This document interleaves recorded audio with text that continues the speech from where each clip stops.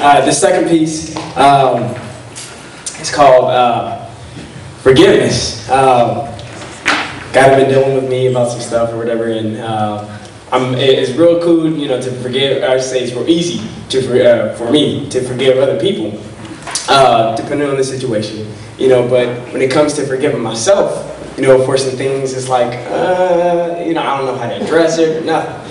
And uh, so God was dealing with, with me on that, and uh, I ended up writing this piece about it.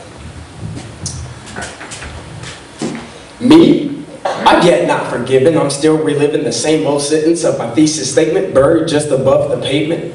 Still under the hurt. Feels like I'm under the curse of the fruit that was bitten to quench the thirst of our curiosity. How did I not forgive me first? And what's worse is I continue to search for consequences that work for my benefit, but I don't see any perks. Jerk and twist, I reminisce. Still in my mind, I seem to miss the opportunity that my community represents. And I'm fishing for some other clue. I'm wishing for some other truth. I turn to you. What do I see? Everything you want me to. It's raw and it's real, so I don't like it. My human nature tells me that I desire to fight it. It's like I welcome the uninvited. And the very idea of forgiving myself somehow has other people excited. The results of my diagnostic test suggest my unforgiveness is the paralysis of my psoriasis cyst. And so I added to my list, learn how to forgive and forget. But many times I skip step one and go on learning how to forget. And this never really pans out.